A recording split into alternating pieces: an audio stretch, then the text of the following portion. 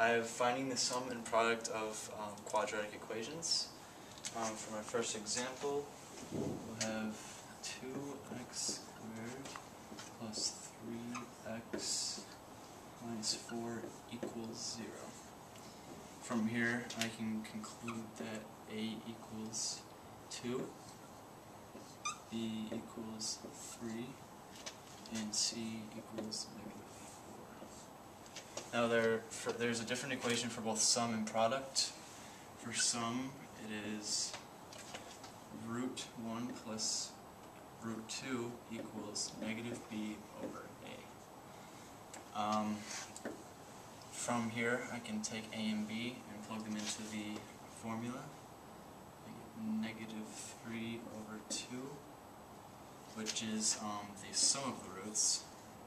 And for the product,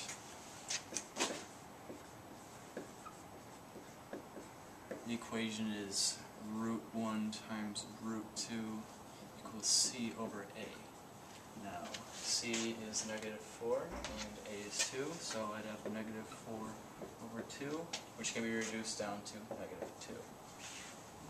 And these are the answers for this specific equation. Now from here you can do it backwards as well. You can start with the, um, the sum of the roots and make the actual equation. Say you start with uh,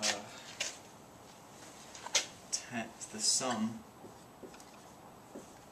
10 equals um, negative b over 1. Now I'd have to set b equal to uh, 10, which means I'd have to multiply each side by negative 1. And then uh, I get b equals 10.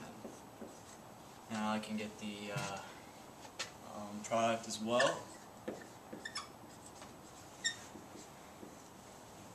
Uh, for this specific one, it's 9 equals c over 1, which uh, just can, can be reduced down to c equals 9. Now, since um, the a is 1 in both of these equations, um, um, we can just write that a equals 1. And from here, since a is the first part of the qu quadratic equation, b is the second, and uh, c is the last, I can go in that order, making it x squared plus 10x equals, I mean, uh, plus nx plus 9 equals 0, which is the final answer for that.